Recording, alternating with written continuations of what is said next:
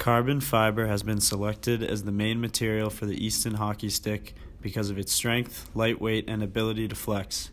Carbon fiber sheets are made by fusing carbon fibers together with plastic resin. The resin works to hold the fibers together. Sheets are cut in diagonals and stuck together so that the fibers overlap, increasing the overall strength of the material. The sheets are stuck together using a traditional household iron, which melts the plastic resin inside the material and presses the two sheets together. After this, the sheets go through a hot roller to be permanently stuck together. After cooling, the machine cuts the sheets into strips the same length as the shaft. These strips are cut so that the fibers run in all directions in order to increase the overall strength of the final shaft. Next, a technician wraps the composite around a mold, and the composite is pressed into the shaft by the circular armature pictured. To make the stick with the hollow shaft, 20 sheets are successively wrapped tightly around the mold.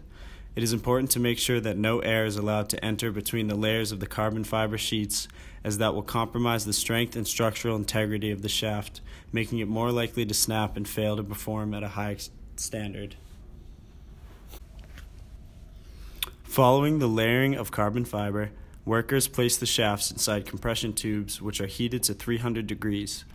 These high temperature compression chambers melt all of the layers of carbon fiber together around the mold. To ensure that the layers are tightly stuck together, a rubber bladder within the compression chamber inflates, resulting in even more pressure being applied to the stick as the carbon fiber sheets melt and combine into one solid shaft piece. After being removed from the compression tubes as whole stick shafts, a machine is used to test the flexibility of the sticks. It is important for sticks to be able to handle a lot of stress due to the nature of how they are used in hockey. Players often press their whole body weight onto the stick and high impact stresses occur while a player is shooting.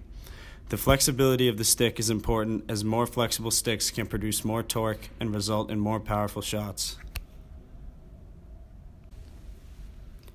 The outer surfaces of the blades of the shaft are cut from the same carbon fiber sheets as were used on the shafts of the sticks.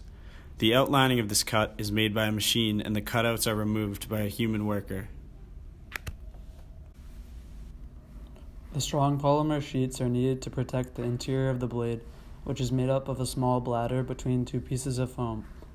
The soft foam works to cushion the impact of the puck hitting the blade and also increases the speed of the puck when the player shoots the puck back. Workers wrap 35 layers of the carbon fiber sheets around the blade to ensure that the blade can withstand all of the force absorbed by shooting the puck. To bind all of the layers together, the blade is put under 8 tons of pressure inside of a heated mold. Once again, a rubber bladder inside the mold fills up to increase the pressure put onto the carbon fibers. Once the carbon fiber sheets have been pressed together, workers remove the blades from the molds and attach the blades to the shafts using a strong adhesive. Random sticks are chosen to get tested in a slap shot machine. The stick must be able to shoot 200 shots at 75 miles per hour to pass. If a stick fails, the entire batch is thrown out.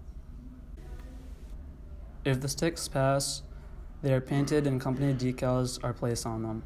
To finish the manufacturing process, a machine covers the stick with a clear coating that protects the interior of the stick and provides it with a tacky texture to improve the grip of the shaft. This is the final product. The manufacturing process takes about two hours. The stick manufactured is an Easton stick. This style of hockey stick, composite carbon fiber, makes up the majority of sticks on the market today. Though Easton sticks can be bought from many third party sites, many similar style composite based hockey sticks may be purchased at Bauer's website.